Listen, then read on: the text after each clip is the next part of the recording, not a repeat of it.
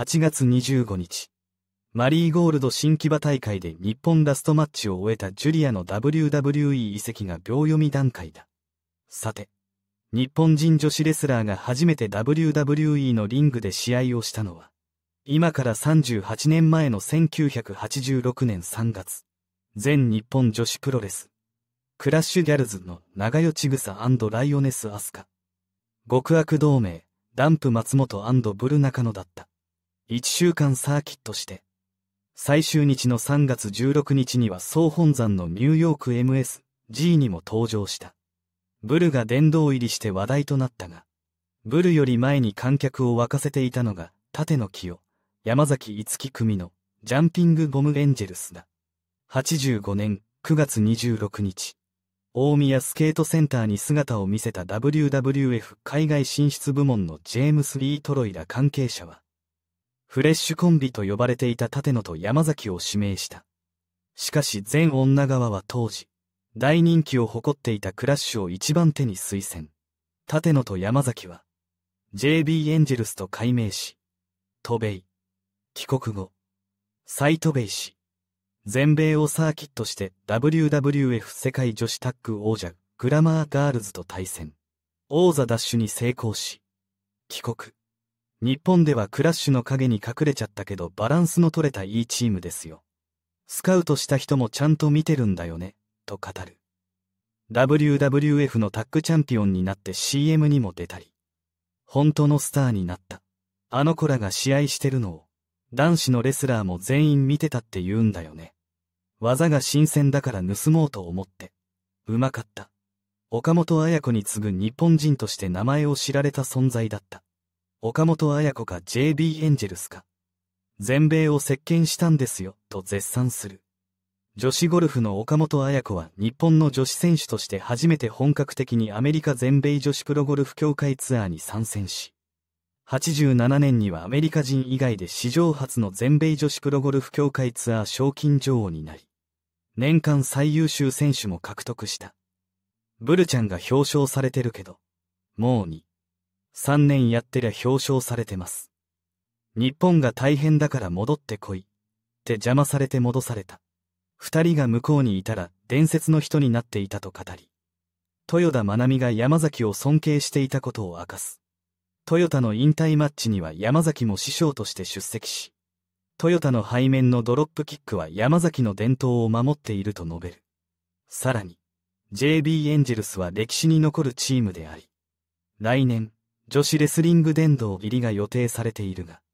果たすことができるのか疑問が残る。JB エンジェルスはアスカ、イオスカイ、カイリ・セインら日本人女子プロレスラーの先駆けとなり、全米を沸かせた。第48回 AIG 女子オープンは、セントアンドリュースオールドコースで開催されました。最終日、リディアコが2位で7アンダーのスコアで優勝しました。激戦の模様を岡本彩子プロが解説しました。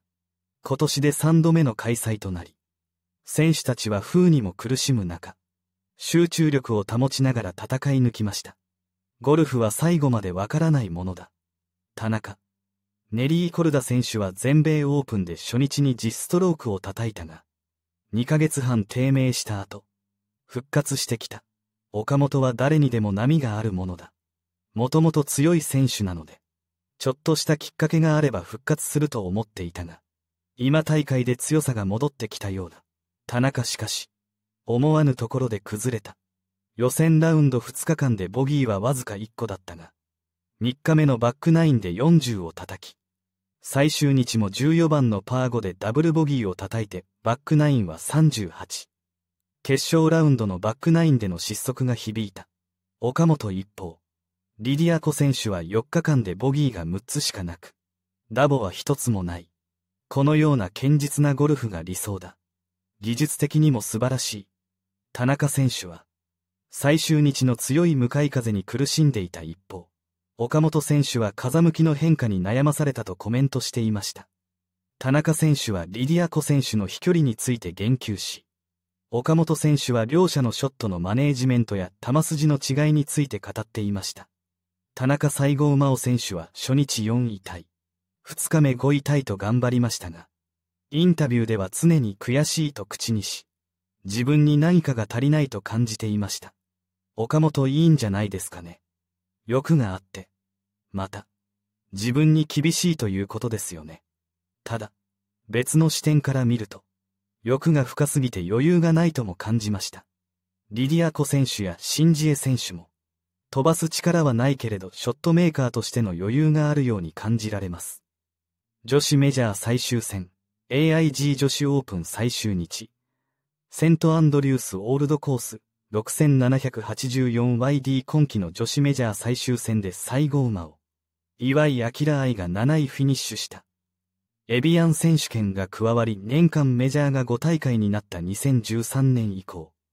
日本勢が年間全メジャーでトップ10入りしたのは初めて。また、メジャー5大会でトップ10入りした延べ人数は13人となり、過去最多だった昨年の6人を大幅に更新した。なお、エビアン選手権が加わる前、1983年にナビスコダイナシュアが加わってからの年間4大会時代では87年に岡本綾子が一人で、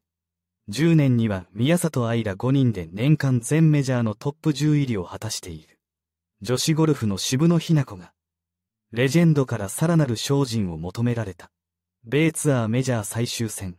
AIG 全英女子オープンで予選落ち。初日に8オーバーの134位と大きく出遅れると、2日目も78と巻き返せず、通算14オーバーの140くらい。後ろにいる選手は、わずか二人だけだった。本人は何もできなかったとショックを受けるほどだった。前週は初日に負傷で途中棄権しており、準備不足もあっただろうが、プロゴルファーの岡本彩子は、U、NEXT で中継された2日目の解説でショット力不足を指摘した。ショットメーカーと呼ばれる誰かが、渋野プロってショットメーカーやね、と囁いてくれれば、その気になるんでしょうけど、そこにはたどり着いていないというのはありますね。その上で自身の経験を踏まえこう続けた。渋野選手がショートゲームで2年連続で賞を受賞したことに触れると、彼女にとってその評価は重要であり、その気にさせられる可能性があると指摘しました。技術面での向上が必要だとも述べられ、渋野選手は復調の兆しを見せているものの、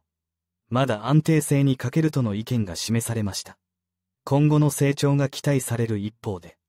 厳しい現実に直面することでさらなる成長が見込まれるという見方も示されました。米女子ゴルフツアーメジャー最終戦、